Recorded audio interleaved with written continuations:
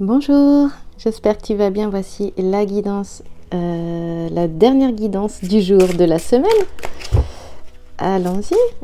Puis on se retrouvera pour euh, la guidance sur les flammes jumelles. Alors je dis toujours le week-end, mais j'arrive jamais à les poster le week-end. Donc euh, tu vois, si je fais pas le week-end, bah, tu la retrouves le lundi hein, avec la guidance du jour. Surtout qu'en ce moment il fait beau, tu vois, donc je, je profite beaucoup de dehors et je profite de mon week-end. Voilà, aujourd'hui il est question de son enfant intérieur. Il y a dans votre cœur un enfant qui a besoin de votre écoute et de votre attention. Offrez-lui cette présence et le cocon réconfortant de votre amour. J'adore ces cartes parce qu'elles sont douces, enfin l'illustration est, vraiment magnifique. Alors c'est l'oracle de naissance d'Ophélie Cellier et Thomas Piette, illustré par Véronique Lépinet ah, c'est vraiment une magnifique illustratrice. Euh, qui est euh, fait euh, au départ, bah oui, peut-être pour les femmes enceintes, quand on voit la, la, boîte, la couverture de la boîte. mais pas que en fait, ils s'adressent, ils le disent dans leur petit fascicule, ils s'adressent à, toutes les phases de la vie en fait, parce que on, est constamment en en mort et on vit des, petites morts et des renaissances ou des grandes morts et des renaissances d'ailleurs. Alors, votre enfant a besoin de votre écoute et de votre présence rassurante. Cet appel peut provenir de l'âme qui arrondit votre ventre à la lumière de la lune, de l'enfant d'ores et déjà à vos côtés, ou même de la petite fille qui réside dans votre être intérieur.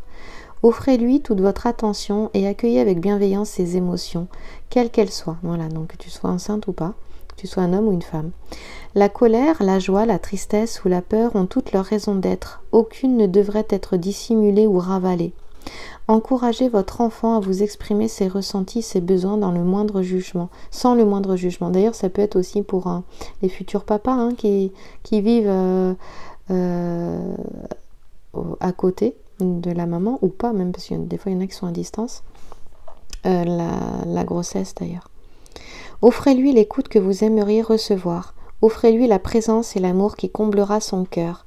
Cette carte vous invite également à vous autoriser à redevenir enfant, à jouer bruyamment, à courir sans destination et à contempler le monde sans filtre. Incarnez complètement cette vision enchantée de ce qui vous entoure, éblouissez-vous d'un battement d'ailes, de papillons, émerveillez-vous d'une rencontre insolite, et quand il pleut, amusez-vous de cette fontaine de nuages. Voilà, donc si jamais il fait pas beau aujourd'hui, bah, amuse-toi de cette fontaine de nuages, redeviens comme un enfant. Et euh, soyons sérieux, mais sans se prendre au sérieux aussi. Voilà, je suis en train de m'étirer, ça fait du bien. On continue. Et oui, étire-toi aussi. L'enfant, si tu le vois jouer, je, vois ma petite qui a deux ans. Euh, euh, ma petite Lou qui a deux ans, elle, est incroyable parce qu'elle court partout, elle est très, c'est, une petite fille très moteur. Euh, et elle court partout, partout, et elle adore s'étirer, elle s'étire très souvent d'ailleurs. Les portes de l'univers. Avant de prendre le grand jeu de Mademoiselle Lenormand, le rayonnement lumineux. L'infinie puissance de votre cœur illumine votre chemin des possibles. Euh, ça, me fait penser que dans la guidance d'hier, je te parlais de pouvoir interpréter deux cartes de manière différente et finalement, ben, je ne l'ai pas fait. Donc on va le faire là maintenant tout de suite. La première carte que tu vois ici, du coup, si tu regardes la guidance d'hier, euh, je ne sais plus comment je l'ai appelée, j'ai un trou de mémoire là, eh bien tu pourras, bah, regarde sur YouTube, il y a les dates. Du coup, tu pourras faire la même chose avec les deux cartes des portes de l'univers qui sont tombées. Alors, la première carte là, c'est euh, toi. En fait, elle te représente toi et éventuellement ce qui a développé ou le travail à faire. Hein, ce qui est dans une euh, relation. Hein, si tu veux ramener cette guidance à une relation, dans une relation, c'est qu'est-ce qui se passe dans la relation, quel est le travail qui s'effectue dans la relation? Et la deuxième carte, donc là, l'infinie puissance de votre cœur illumine votre chemin des possibles. Voilà. La bonne étoile. Tu as vu les magnifiques illustrations de Brigitte Barberan? Euh, cet artiste qui a un compte Instagram, tu peux la, retrouver. En, ouvrant votre esprit et votre cœur à tous les possibles, ils se produisent en abondance. En ouvrant votre esprit et votre cœur à tous les possibles, ils se produisent en abondance. En fait, on a exactement le même message là quasiment. Il est question euh, justement de ton cœur et de t'ouvrir à travers ton cœur de revenir dans cet espace de, de ton cœur, en plein centre de ta poitrine, d'ouvrir ton cœur aussi. Et le fait d'ouvrir ton cœur t'ouvre à tous les possibles. Et ton cœur en même temps, il éclaire les chemins des possibles. Et donc aussi de tous tes futurs, de tous tes possibles futurs. Parce que tout est en constante création, dans tous les cas. Alors, et ici, tu as le but, le but de la relation aussi. Là, c'est ce que euh, finalement euh, tu fais avec cette personne et ce que tu peux réaliser avec elle en commun. Eh bien là, on te dit, en ouvrant votre esprit et votre cœur à tous les possibles, ils se produisent en abondance. Euh, évidemment, ça peut nous faire penser à une relation de flamme jumelle, ça aussi, mais aussi les relations d'âme sœur aussi. Hein. c'est vrai que les relations de flammes jumelles, il y a, cette notion de co-créer quelque chose ensemble qui est fort. Voilà, donc ici, toi et euh, toi, elle te représente cette carte. Euh, le travail qui se fait dans la relation, hein, qu'elle soit professionnelle ou sentimentale, ou même familiale, hein, euh, amicale aussi, et là, la deuxième, c'est le but de la relation. Pourquoi vous êtes en relation? Et qu'est-ce que est-ce que vous pouvez réaliser ensemble? Alors, il y en a qui vont me dire, ah, Carole, t'es gentille, mais euh, je fais quoi avec ma bonne étoile bah, Peut-être que la bonne étoile vous a, vous a mis déjà euh, sur le chemin l'un de l'autre, déjà. On te dit d'accepter l'affirmation magique de cette carte, de la, de la bonne étoile à droite ici, c'est vraiment euh, j'accepte ma bonne étoile, je m'ouvre à la nouveauté et aux merveilles du monde. Voilà. Ici, très clairement, euh, elle, te, elle, te, demande cette relation, elle te demande de croire en ta bonne étoile. Hein. Euh, de, croire aussi que cette rencontre, ça, n'est pas un hasard quelque part, et, et de, revenir sur ton, sur ton chemin et de voir et de voir les, les, les, entre guillemets, ces, ces, hasards qui ont eu lieu pour toi, d'aller les explorer. Et euh, donc on te dit pour cela retrouver ces moments qui ont pu se produire en amour, au travail, sur le plan financier. Et, et euh, Vincent Milzarek, l'auteur, te demande justement quels sont les paramètres communs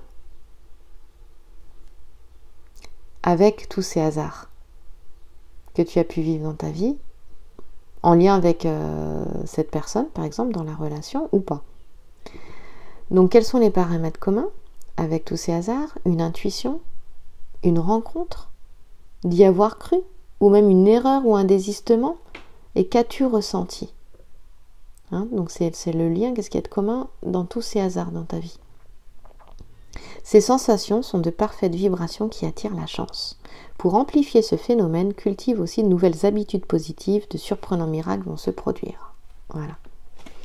Donc cette carte, tu as compris euh, qu'elle te connecte à ton cœur, hein, on en a parlé, euh, et à l'esprit de ta bonne étoile. Euh, on te dit que c'est une bénédiction, on te dit d'élargir ta perception de, cette réalité aussi, de porter un regard bienveillant sur toi-même, comme tu le ferais justement eh bien, euh, pour la, personne avec qui peut-être tu es en relation de cœur, que ce soit au niveau familial, amical, sentimental, euh, comme tu le ferais pour un frère, une soeur, un meilleur ennemi, une meilleure amie. Euh, voilà. Donc j'ai dit un meilleur ami, hein, pas ennemi. Hein. j'ai bugué, mais j'ai pas dit ennemi, c'est ami. En laissant ton et d'ailleurs c'est intéressant bon c'est pas j'ai pas fait de lapsus mais j'aurais pu très bien le faire effectivement. Euh, je dirais que finalement euh, ton, pire ennemi, c'est celui qui fait qui, qui, peut être, qui en fait peut être peut devenir ton meilleur ami d'ailleurs, ça c'est déjà arrivé, mais c'est celui qui te fera mais le plus avancer sur toi quoi. Pas toujours évident à reconnaître. Hein. En laissant tomber tes jugements, tes limitations et la petite voix qui dit ce n'est pas possible, d'ailleurs souvent ton pire ennemi c'est toi-même, hein. ce n'est pas possible, c'est trop beau pour être vrai, eh bien ton ego s'efface et la chance peut apparaître. Il a beaucoup été question de ça cette semaine. Hein, de, vraiment de croire en soi et de, croire en son bonheur en fait et d'accueillir le bonheur qui est la complétude du moment présent aussi. Hein, de cette joie, de l'accueillir, parce que tout le long de la semaine, il était question de dire, euh, euh, bah, tu crois que c'est trop beau pour être vrai, c'est trop beau pour être vrai, et on te dit d'accueillir ça. C'est vraiment très fort, hein. toutes les énergies de la semaine, elles étaient là-dessus. Voilà, donc euh, non, c'est pas trop beau pour être vrai, cela est, et c'est pour toi, donc prends-le. Guider, éclairer la vibration de ton être s'élève et déploie justement tes champs des possibles. Ben oui, du coup, il y a une belle ouverture. Comme par enchantement, tout se boucle et de nouvelles perspectives s'offrent à toi. Ressens au plus profond de toi combien la lumière de ta bonne étoile te suit pas à pas. Spontanément, de merveilleux coups de chance se produisent. Voilà, je sais pas si ça t'est déjà arrivé, moi j'ai déjà vécu une, phase comme ça. Et en fait, tu te rends compte qu'à chaque fois, il y a cette notion de joie qui est là à l'intérieur quand tu te sens en joie, eh bien, il y, a, plein de choses, plein de verrous qui sautent.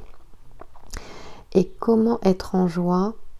Eh bien, la joie naît de la paix intérieure. L'enseignement de cette carte, de cette bonne étoile, donc je rappelle que c'est vraiment euh, ce pourquoi tu es euh, dans cette relation, que ce soit avec toi-même, avec quelqu'un d'autre. L'univers te répond toujours avec une grande justesse. Si tu crois à la malchance, qu'il y a des choses impossibles, que tu es impuissante ou impuissant face à des situations, tu envoies cette information dans le champ vibratoire universel. Alors automatiquement ta réalité va prouver ta croyance. En revanche, si tu acceptes ta puissance créatrice et ta part de responsabilité dans ce qui t'arrive, tu hisses ta réalité sur le plan de l'accomplissement. Alors naturellement, la lumière de ton esprit et de ton cœur éclaire dans le ciel ta bonne étoile. C'est beau, hein? Une magnifique collaboration se manifeste avec l'univers à cet instant précis. Une magnifique collaboration se manifeste avec l'univers et peut-être que euh, justement tu es en collaboration avec une autre personne, que ce soit dans le domaine sentimental, professionnel, euh, amical, familial et euh, voilà pourquoi? Justement. Elle t'est envoyée. Et donc le rayonnement lumineux qui te nous parle ben, de toi, ou euh, de ce qui se vit dans la relation, dans ce qui là, c'était le but de la relation, le pourquoi. Euh, et là, c'est de ce qui se travaille dans la relation, ce qui se vit dans la relation. J'aime pas trop le mot travail. euh, eh bien, ici, L'affirmation de la carte, c'est Je suis une personne magnifique, je m'aime et j'attire une vie merveilleuse en soi. Elle nous parle d'amour de soi, cette carte-là, très clairement. Attends, est-ce que je me suis pas trompée? J'ai l'impression que si. Si, je me suis trompée, mais si je te l'ai dit, c'est que c'était peut-être quelque chose à recevoir. Non, c'était l'affirmation magique du reflet intérieur, mais si je l'ai dit, c'est que c'était à recevoir. Donc je te, je te redis l'affirmation magique d'aujourd'hui. Il y en aura deux pour le coup. Je suis une personne magnifique, je m'aime et j'attire une vie merveilleuse. Et donc l'affirmation de cette carte, le rayonnement lumineux avec ce magnifique cœur, j'ouvre mon cœur et j'écoute ces précieux messages en me connectant à de belles personnes. Ma raison d'être s'accomplit. On parle encore de collaboration là, tiens, comme par hasard. Elles sont vraiment bien en résonance ces deux cartes. Hein. Ici, l'enseignement de la carte, c'est l'ultime but de ta venue sur Terre est de vivre et de rayonner l'amour. Je répète, l'ultime but de ta venue sur Terre est de vivre et de rayonner l'amour. Et donc, dans cette relation avec l'autre ou ton autre, bah, est-ce que c'est pas ça l'ultime but hein? De vivre et de rayonner l'amour. Je répète, de vivre et de rayonner l'amour. Pour en faire l'expérience, ton cœur détient un don précieux, celui de relier ta vie à l'énergie créatrice de l'univers. Dès que ton cœur est ouvert, des fils d'or subtils sont envoyés dans le monde pour te connecter à toutes les personnes qui vont croiser ton chemin. En émettant l'intention de vivre l'amour, tes relations à venir se tissent dans l'invisible et l'énergie d'attraction s'active. Chaque rencontre sonne comme une évidence. L'infinie puissance de ton cœur a aussi la faculté d'attirer à toi des situations à la, hauteur de tes ambitions et de tes aspirations profondes. Donc moi j'utilise le tu, mais Vanessa Mixarek, l'auteur des portes magiques de l'univers, utilise le vous. Hein. Donc le message de cette carte, cette carte illumine ton trésor intérieur, la noblesse de ton cœur. Toute une palette de dons, de talents et de vertus est prête à se manifester. Comme tu ressens le désir impérieux de vivre des liens plus puissants avec les autres afin de servir le monde, ta demande s'exauce. Alors le miracle de la guérison apaise tes blessures et la porte du passé se ferme doucement. Ton cœur s'ouvre sans condition. Pour vibrer plus d'amour, ressens la joie de ton cœur et accueille toutes les personnes qui sont destinées à faire partie de ta vie affective et professionnelle. Et des fois, on n'accueille pas toujours. L'univers cherche absolument à combler toutes tes aspirations. Pour activer la magie, l'univers il est neutre. Il va aller dans ce que tu souhaites toi. Et ce que tu souhaites toi, c'est ce que tu vibres.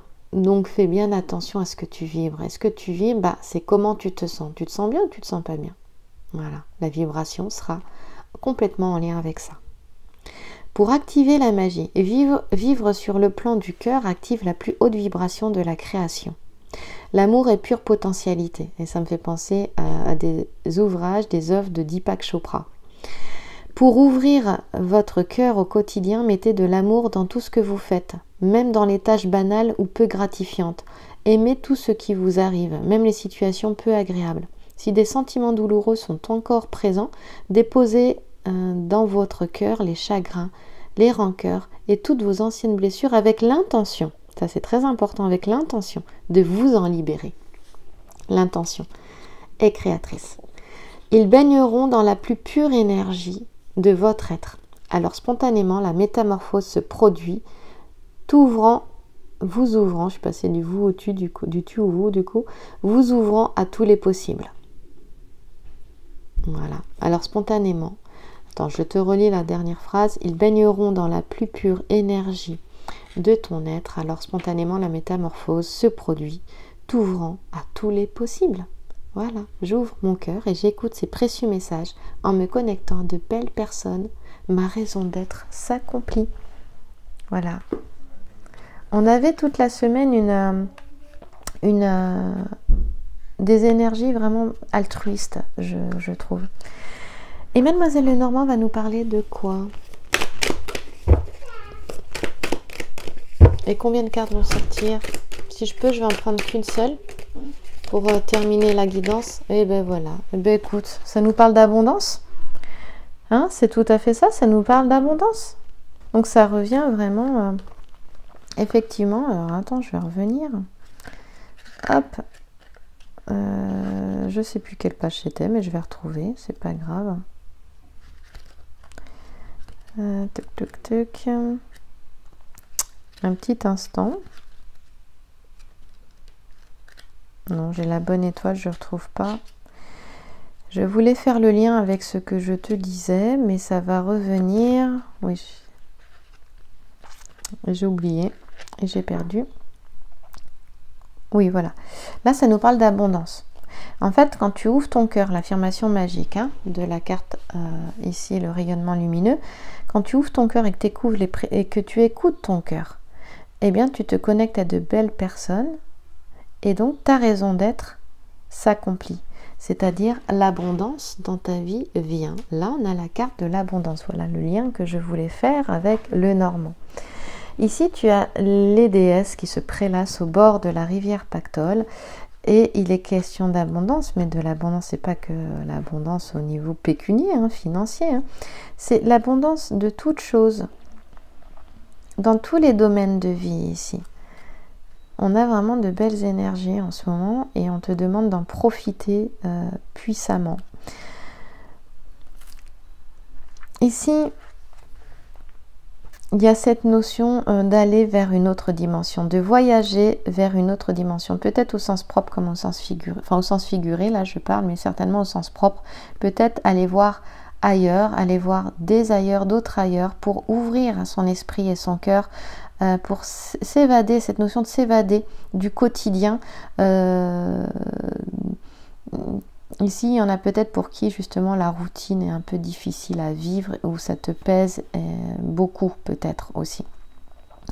Donc on te dit d'aller vers euh, d'autres personnes, avec euh, voilà, d'aller vers euh, d'être en contact avec des personnes qui vont pouvoir eh bien te sortir aussi peut-être de cette routine là. et si tu as l'occasion de bouger, bah, bouge, va découvrir de nouveaux horizons, même si c'est dans ton département ou ta région, hein, d'aller voir d'autres paysages aussi. Voilà. de peut-être te lancer dans un nouveau projet qui sera peut-être plus spirituel ou philosophique. Voilà, qui va te permettre de t'élever et de, réaliser ton idéal aussi de vie. Hein. Il y a cette notion-là. Euh, ici, on peut être aussi des, sur quelque chose de plus euh, matériel, on va dire, tu peux être confronté à une décision financière. Il va peut-être falloir aussi euh, anticiper quelque chose au niveau financier et donc, on va te demander de prendre conseil auprès de quelqu'un par rapport à ça. Et donc, c'est peut-être pas facile parce que ici, peut-être que l'aspect euh, privé, personnel, sentimental, familial occupe toutes tes pensées. Et, euh, et on te dit attention parce que tu peux peut-être aussi négliger cet aspect matériel là. On te dit d'y revenir. Voilà. Tu peux séparer les choses, mais reviens, là, il y a peut-être une décision à prendre pour anticiper quelque chose et peut-être mettre quelque chose en place, euh, peut-être mieux s'organiser aussi, mieux euh, avoir une meilleure gestion, que ce soit au niveau euh, matériel ou au niveau émotionnel, pour aller, pour bien mener aussi ces affaires-là plus, plus matérielles également. Hein voilà.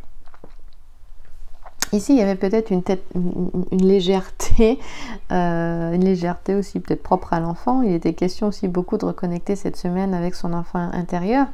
Euh, il y a aussi cette notion de joie, hein, j'en ai parlé, J, joie, euh, et de, oui, d'accepter que le bonheur, la joie là, du moment, elle est pour toi, mais sans en oublier sans être euh, avec trop de légèreté, sans en oublier les affaires de ce monde en fait. Voilà ce que, ce que, ce que te dit cette carte SEJ.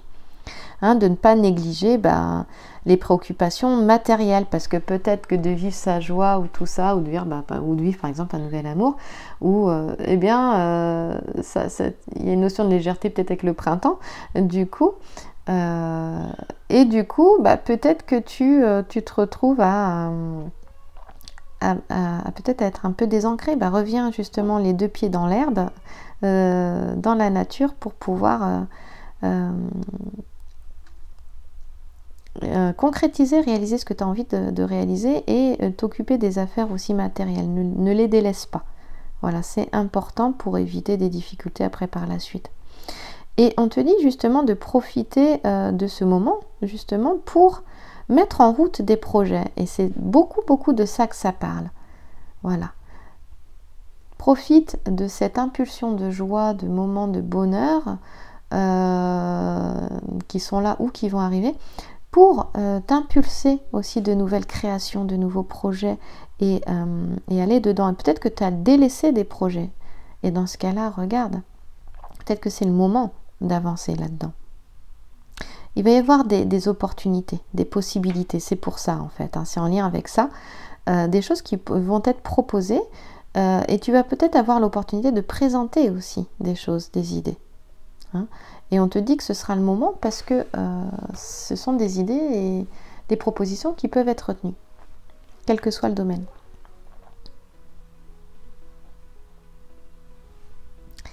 Voilà, donc mets chaque chose à sa place et, un temps pour tout. Voilà. N'hésite pas à prendre conseil auprès d'autres personnes. En tout cas, la chance est là avec cette carte-là et elle te sourit. Il peut y avoir euh, des rentrées financières, peut y avoir des héritages, des cadeaux, euh, euh, une satisfaction sur le plan financier. On te dit que tu vas pouvoir régler certains problèmes aussi. Hein. Ici, on te dit d'envisager l'avenir sous un nouveau jour et de manière positive et euh, voilà, il y a toujours cette notion de, bonheur en fait. Euh, tu peux être sollicité, tu peux être invité aussi. Euh, on te dit de profiter de ce moment-là. Et il peut y avoir pour les célibataires une rencontre aussi qui arrive, qui se fait, qui ne te laissera pas indifférent ou indifférente. Voilà. Et que tu auras envie euh, de t'engager, de cultiver euh, cette relation. Peut-être que justement, là, ça te parle d'une nouvelle relation, hein, si on regarde la guidance de manière générale avec ces deux autres cartes, et que, euh, bah, que attention, ne t'oublie pas non plus dans les affaires matérielles de ce monde. Euh, n'oublie pas des projets qui te tenaient à cœur pour te réaliser, ne les mets pas de côté aussi. Voilà. Euh, en tout cas, oui, c'est une belle rencontre et des choses sont possibles à deux dans cette rencontre-là. Voilà, profite, profite, profite. Et euh, c'est tout ce que je peux te dire. Euh, je te souhaite un bon week-end. On se retrouve la semaine prochaine pour les guidances du jour. Et puis voilà, la, la, guidance sur les flammes jumelles, ou ce week-end, ou lundi. voilà, ou mardi. En tout cas, je te la fais au plus tard dans le début de la semaine prochaine. Merci à toi.